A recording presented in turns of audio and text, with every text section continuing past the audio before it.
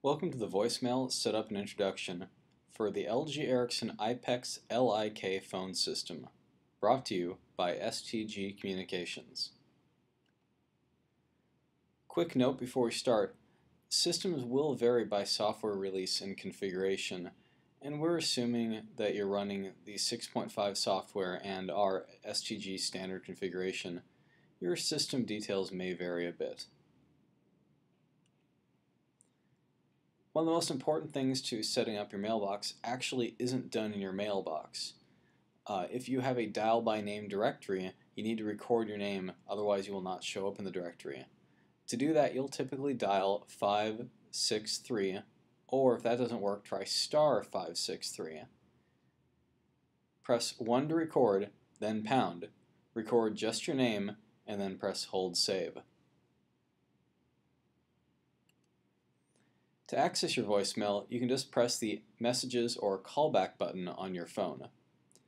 If you are prompted, your password is actually your extension plus your password. So if your extension is 100 and your password is 1234, you will enter 100 1234. To record your greeting once in voicemail, you'll press 8 for personal options 1 for greetings, and then 7 to record. Once you're done recording your greeting, you'll press pound. To change your password, when you're in voicemail, you press 8 and then 2 and follow the prompts to change your password. To access voicemail from the outside, you'll want to call into your voicemail box.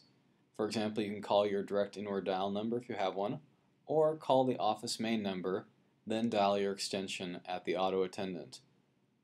You'll press star during your voicemail greeting, enter your password, and then pound. For more information and training, you can visit us online at training.stgcommunications.com.